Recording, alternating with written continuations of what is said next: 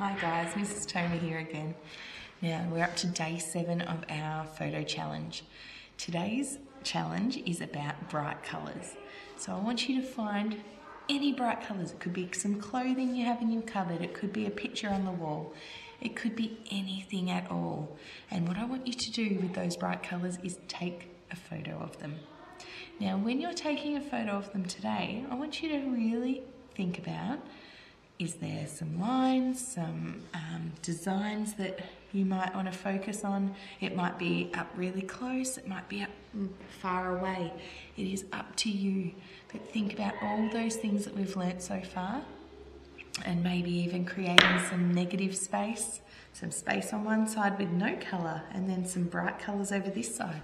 It could be anything that you want to do. Remember bright colours today because bright colours always brighten my day. Good luck.